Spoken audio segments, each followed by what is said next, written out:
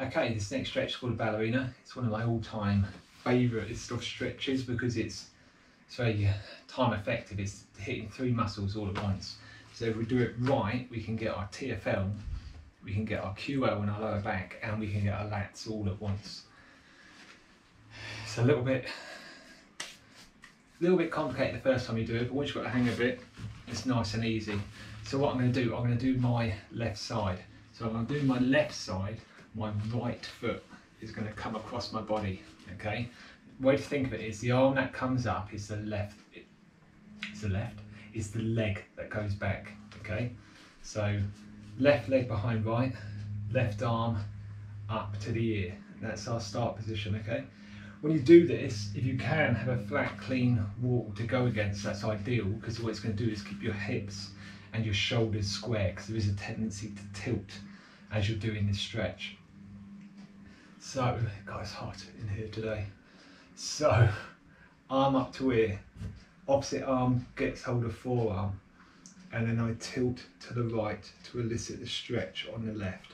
I'm feeling for a stretch all down this side and just in the top, um, top of the leg, just below the crest of the pelvis. Okay, if you can't feel that lower one, try tweaking your tweaking your hips forward and back, and you should be able to feel it.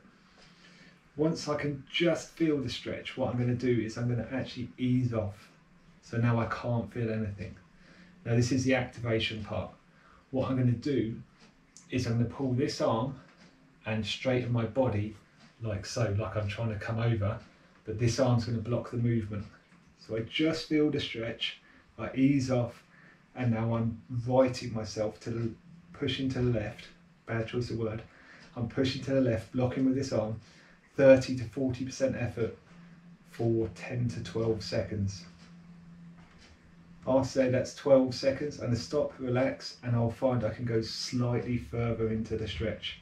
I'll find where it stretches now, back off, and I'll just wait there. So I'm just hanging out just before that feeling of stretch, again for 10 to 12 seconds. After 10 to 12 seconds, I'll activate again by trying to right myself,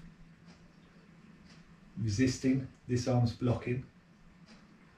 After do that for 10 to 12 seconds again, then I'll stop, relax, and I can go slightly further over find the new stretch and then ease off.